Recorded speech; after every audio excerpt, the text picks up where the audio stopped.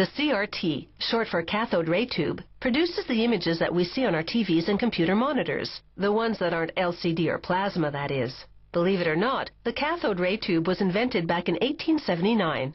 A CRT is made up of two main components, a large glass bulb and an electron gun.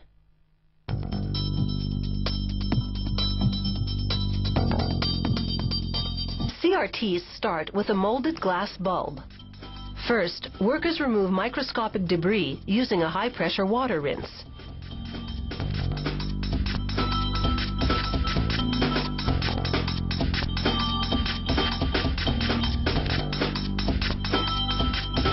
Then spray hydrofluoric acid to clean the glass at an atomic level.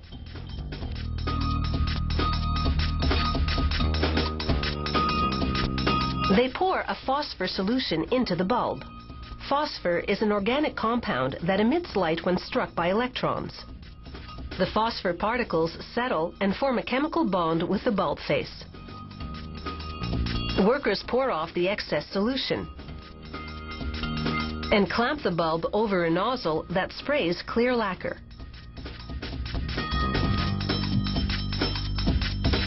The centrifugal force guarantees an even coat over the phosphor to protect it for the next step.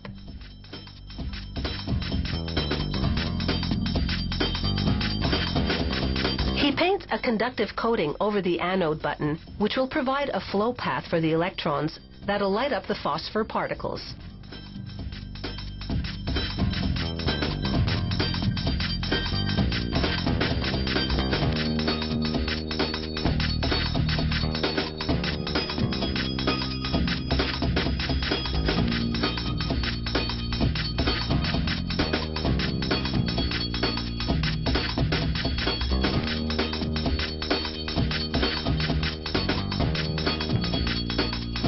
Next, a worker drops an aluminum pellet into a tungsten coil.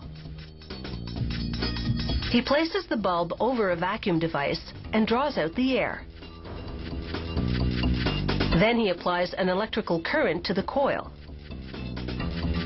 It evaporates the aluminum pellet, which spreads a mirror-like coating on the inside of the bulb. Now they heat the bulb to 218 degrees Celsius for one hour.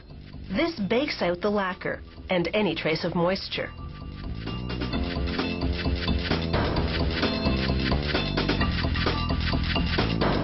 Using a high temperature flame, a worker aligns and fuses a glass neck to the bulb.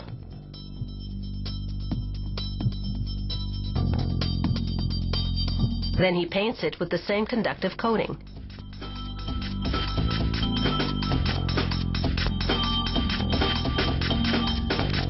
This assembly is part of the electron gun that goes inside the bulb.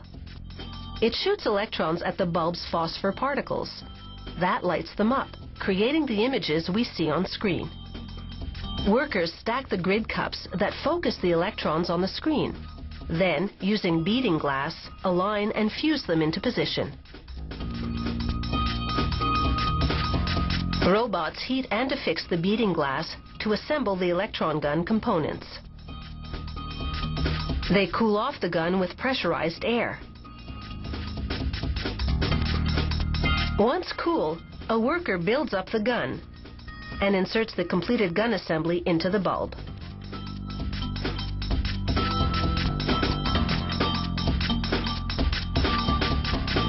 Next, he positions the bulb on a glass-blowing lathe and cuts excess glass from the neck. Using a graphite paddle and a high-temperature torch, he mates the glass neck to the electron gun's stem.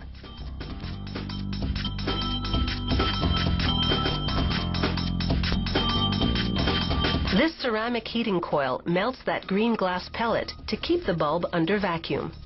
The tube is heated to 400 degrees Celsius for two hours, and once again, a vacuum is drawn. To minimize image flicker over the tube's lifespan, workers condition the bulb using a high voltage coil. It smooths any rough surfaces that might remain on the electron gun. Finally, workers apply electrical connections to the electron gun to bring the cathode ray tube to life.